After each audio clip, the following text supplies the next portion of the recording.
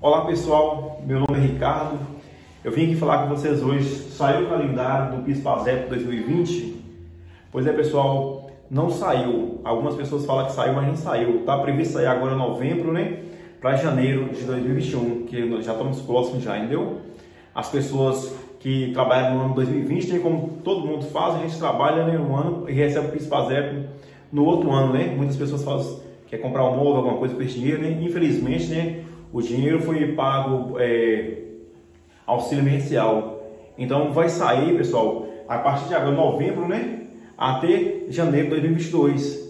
É, tá próximo, tá chegando, né? E as pessoas vão receber fevereiro para junho, vai receber as pessoas trabalham em 2020. E de 2021, é, em seguida, em frente de, de julho em diante, eu vou receber então dois pisos no ano que vem. Deu o piso do ano 2020 e o PIS deste ano 2021, né? Então vai sair os dois PIS. Infelizmente, né? É, as pessoas contam com o dia do PIS, mas infelizmente ainda é, o calendário não saiu ainda, né? Mas vai sair, né? Marcando as datas que vai receber as pessoas do mês tal, vai receber em janeiro, recebe tal mês, fevereiro, então vai sair eu, eu Ricardo aqui, Nunes, vou estar sempre autorizando para vocês de primeira mão, vou pegar assim que sair o calendário e vou mandar para vocês, entendeu? Vou falar, vou fazer um vídeo gravando, entendeu? o calendário certinho para vocês, entendeu? Mas até o momento ainda não saiu, pessoal, entendeu?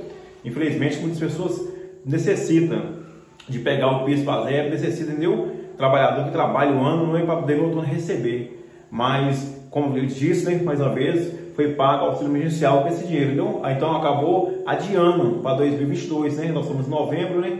Está chegando, então. Aí assim que sair agora de novembro até janeiro de 2022, vou estar falando com vocês aí. Obrigado, pessoal. Siga aí Ricardo Nunes, né? No YouTube, viu? Siga meu canal, dá um like, dê um ativo o sininho para vocês receber sempre as notificações. Sempre vou estar gravando vídeo aqui falando com vocês tudo a respeito, entendeu?